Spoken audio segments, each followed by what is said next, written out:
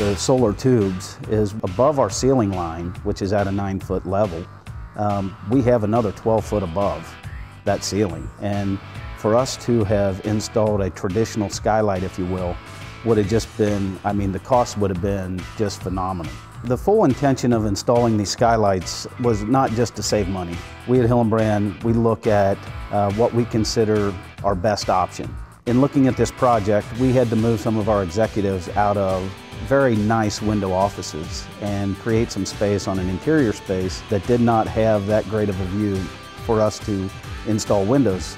With our partnership with Kramer Roofing and with Carlisle, we looked at um, how do we bring natural light in for these folks. Being used to window offices, our best option was the skylights that, that you see installed upstairs.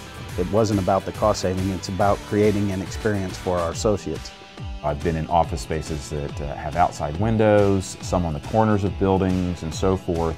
And literally, I, I was in this space before it was turned into this space in a different office environment. Um, of course, there are no windows in here, but now there is natural light coming in through the skylight. And, and it's a real difference. Um, you know, I notice it during the workday. You know, sometimes as, as the sun you know goes behind a cloud and then comes back out, you just you just know you're you know, you're seeing the outside. There's many opportunities to increase productivity with, with natural light, and it just makes people genuinely feel better. You don't feel closed in. We had to move a lady off of a walled office that had windows, and we put her to an interior office. And one of her requirements in doing so was that she had to have access to natural light. When we installed these skylights, she was ecstatic. Well, I'll tell you something that happened a couple weeks ago. The electricity went out in the in the company for about an hour, and in the past we'd be in the pitch dark. And we were trying to answer phones and couldn't see anything, and it was kind of like, okay, it's pretty nice. We have light still, so we can still see. It is nice to to see the sunshine come through, and it does help motivate you, and you know, it just feels good to to know what the weather's doing. If it gets too bright, there's a damper that's up inside the tubes that all you do is you you got a switch, you can open or close that damper at any given time. Matter of fact, we have times where we'll turn that damper on because people are always walking up and down the hall saying, hey, you left lights on. And there's no lights on, it's just the skylight.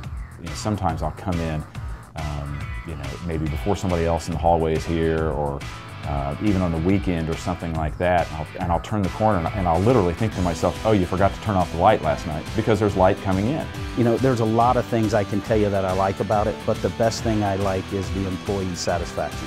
Because doing things right don't necessarily mean you've done the right thing. Doing these skylights is doing the right thing. If you look at the tubular skylights themselves, they carry the same warranty as the Carlisle roofing.